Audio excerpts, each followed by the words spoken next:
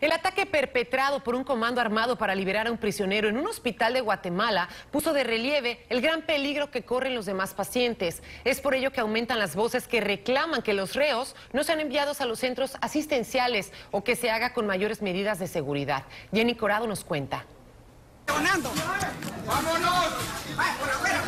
Fueron cinco minutos de balazos, suficientes para que siete personas murieran y más de una docena quedaran heridas de gravedad un comando armado llegó al Hospital Roosevelt, el más grande de Guatemala, para rescatar a uno de sus líderes que guardaba prisión desde hace más de cinco años. Los reos no lo deberían traer acá.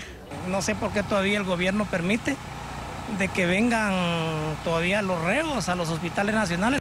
Este es el tercer atentado criminal en contra de centros asistenciales en los dos últimos años en los que los delincuentes han intentado liberar a prisioneros que son llevados a consultas médicas a los hospitales, situación que hace que los jueces sean señalados por permitirlo. Pedimos informes a los, a los centros carcelarios de la viabilidad de ese traslado con las estrictas medidas de seguridad el grupo armado que perpetró el ataque de esta semana logró el objetivo de liberar a su líder, quien se encontraba en prisión acusado de cometer más de 20 asesinatos.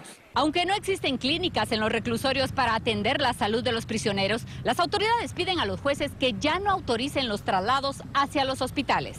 El gobierno de Guatemala solicita al organismo judicial que no autorice más traslados de privados de libertad a hospitales nacionales las medidas para evitar que los prisioneros lleguen a recibir asistencia en los hospitales han sido anunciadas en repetidas ocasiones por las autoridades, pero sin acciones concretas, por lo que los enfermos acuden a los centros asistenciales con temor.